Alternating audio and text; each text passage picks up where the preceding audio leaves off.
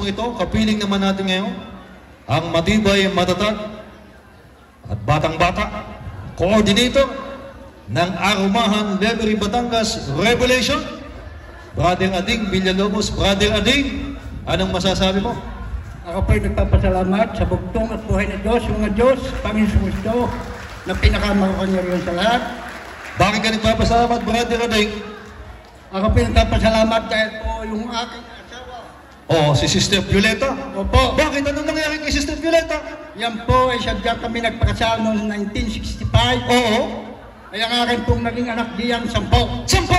Opo, Bihira talaga. yan po ay talagang tunay. Oo. Sapagkat yan po ay hindi ko kahiya ang aking mga anak at yan po ay siyang nakapagtayo ng aking bahay para sa tunay at naging sa bugtong at buhay ng Diyos.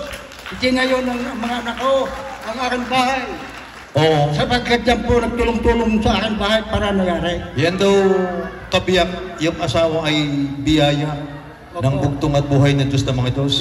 Oo, sa atin. Kaya nakasampo, pambihira talaga.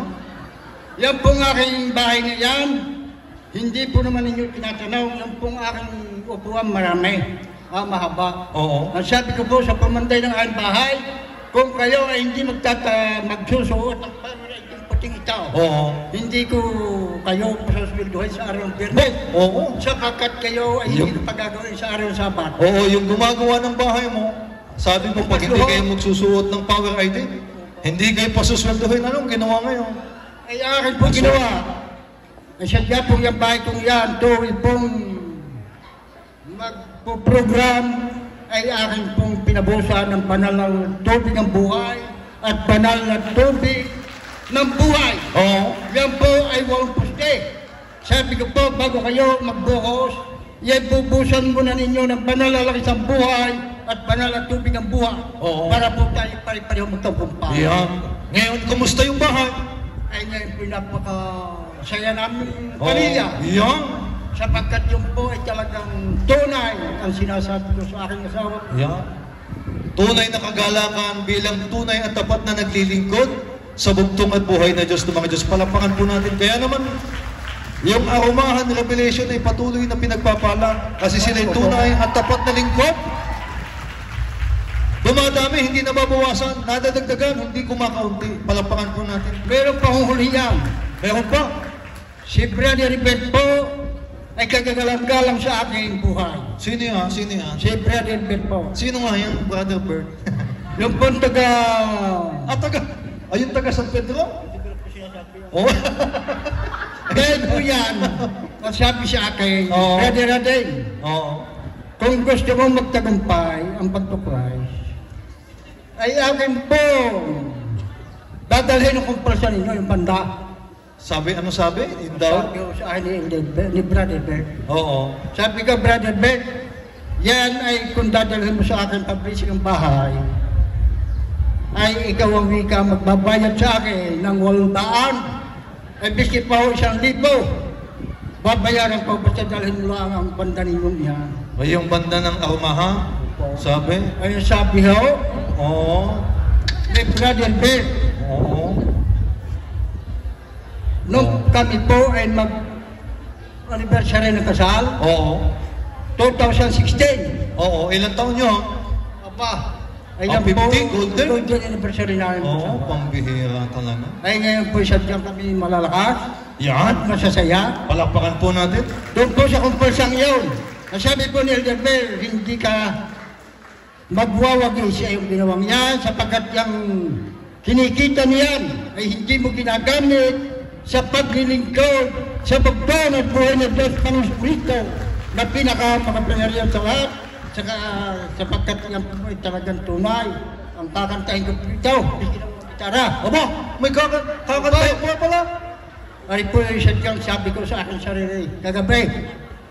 Oo. Oh, sige. ah, Anong kakantahin? Hindi kayo. Oo. Naka- Nakahanda pa yun. Ayan na.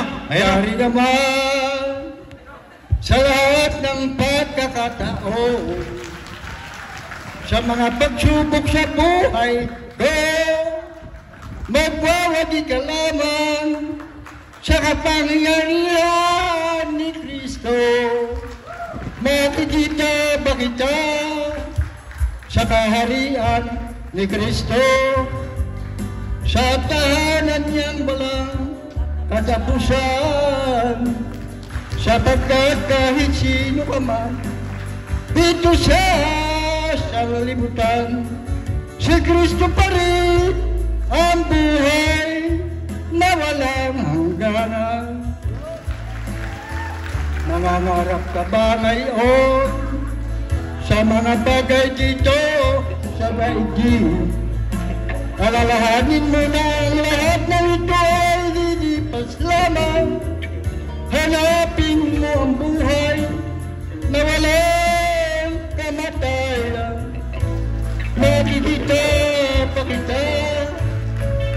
kaharian ni Kristo. Sa tahanan niyang walang katapusan. Sapagkat kahit sino ka man. Dito sa sanlibutan. Si Kristo pa rin ang buhay na walang hangganan Magwawakas ng panahon Kaya lumapit tayo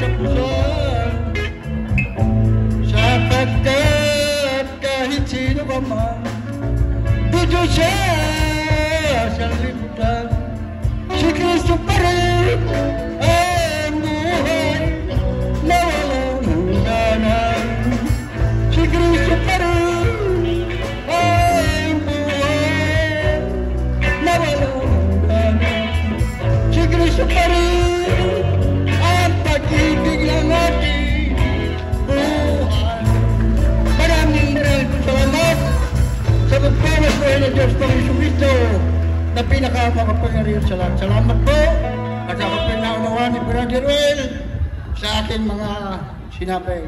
Yan Ay, po, Will, istorya. Yeah. Salamat ha, Brother Ading Villalobos. Palakpakan po natin, palakpakan natin.